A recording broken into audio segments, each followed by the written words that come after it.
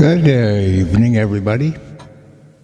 We're entering in the, the darkness of the night, which is uh, actually the most comfortable part of the day.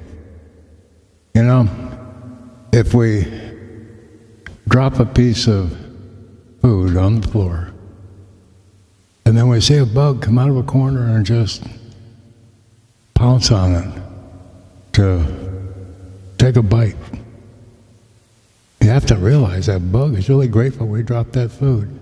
But some of us stomp on the bug and go, Ugh. Where the bug is just gracious that we dropped the food, but yet what are we showing the bug? or we don't do anything, the bug stays there and comes back for the next day for more, and then you don't do it. You don't drop any food.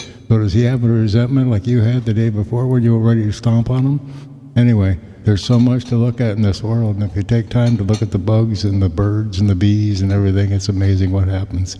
You hear the dishes in the background with a stirring sound going on. Do you hear that in the background? That's my food being prepared. Isn't that nice? I get to sit over here and play, and somebody else is fixing me some food. I think it's wonderful. I'm going to write a song. Here we go. And you're going to join me because you're going to help me do it. Here we go.